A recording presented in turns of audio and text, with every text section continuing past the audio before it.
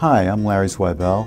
I'm a partner at North Shore Eye Care, and I'm also the Director of Ophthalmology at St. Catherine's Hospital in Smithtown. I'm a fellow of the American College of Surgeons, and I'm a board-certified ophthalmologist.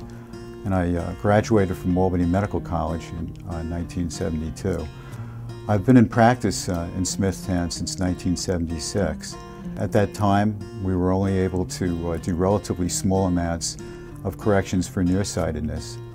And now, uh, with the expanded indications of LASIK, we're able to treat much higher form, uh, much higher degrees of nearsightedness, as well as treating astigmatism and hyperopia or farsighted conditions.